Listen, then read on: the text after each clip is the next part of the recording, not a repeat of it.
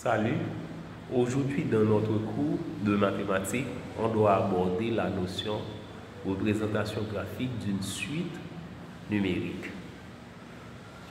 Il y a plusieurs façons qu'on pourrait faire cela. Donc, c'est-à-dire, il y a plusieurs cas à considérer. Il y a deux cas, deux principaux cas. Le premier, c'est le cas où l'on connaît le terme général de la suite. Lorsqu'on connaît le terme général de la suite, on doit déterminer les termes de cette suite et ensuite on représente ces termes-là par point dans un repère. Voici un exemple. Représenter graphiquement les huit premiers termes des suites suivantes. A, UN égale à 5 moins 2N, où N est entier naturel. B, UN est égal à 1 demi N carré moins 1, où N est entier naturel. Et bien, je calcule U0, parce que c'est sur N. Les 8 premiers termes sont de U0 jusqu'à U7. U0 qui donne 5, U1 qui donne 3, U2 qui donne 1, U3 qui donne moins 1, U4 qui donne moins 3, U5 qui donne moins 5, U6 qui donne moins 7, U7 qui donne moins 9. Maintenant, puisqu'on connaît les, les termes de cette suite, eh bien, nous allons placer ces termes-là. Comment va-t-on pouvoir placer ces termes?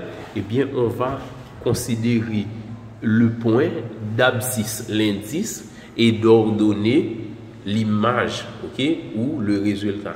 Donc, lorsqu'on calcule le terme U0, eh bien, la valeur du terme, c'est l'ordonnée et l'indice, c'est l'abscisse. Eh bien, de ce fait, on a les points de coordonnées 0, 5, 1, 3, 2, 1, 3, moins 1, 4, moins 3, 5, moins 5, 6, moins 7, 7, moins 9. Eh bien, j'utilise un repère sur une feuille où l'abscisse, voici l'abscisse, l'axe des abscisses horizontalement, l'axe des ordonnées verticalement. Maintenant, le premier point, c'est U0 égale à 5, le point 0,5, U1 égale à 3, U2 égale à 1, U3 égale à moins 1, U4 égale à moins 3, U5 égale à moins 5, U6 égale à moins 7, U7 égale à moins 9. Eh bien, on a placé ainsi les 8 premiers termes de la suite UN égale à 5 moins 2N. Eh bien, vous pouvez remarquer, ces 8 points-là, ces 8 termes-là, sont sur une même droite.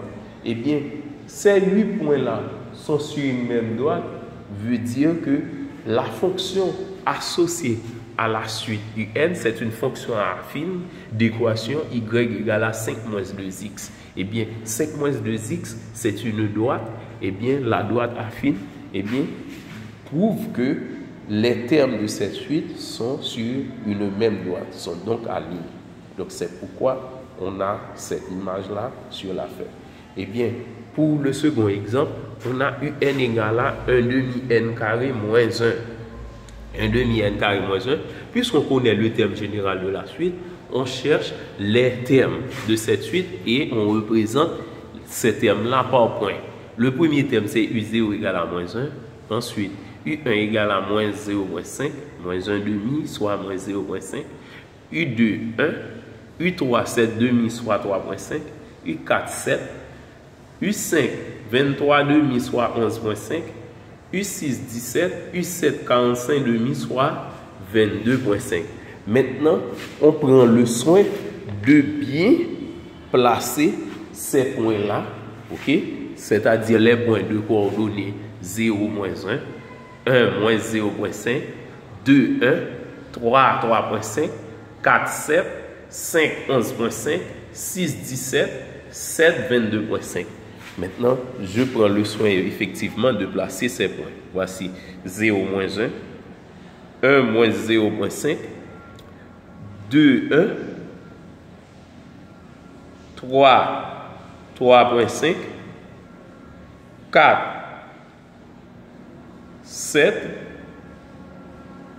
5, 11.5, 6, 17, ensuite 7, 22.5.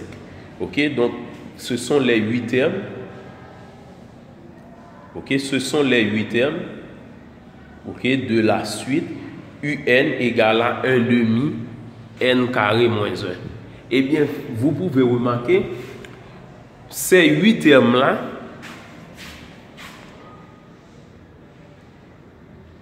ont une trajectoire, ok, donc les points varient de façon parabolique, ok?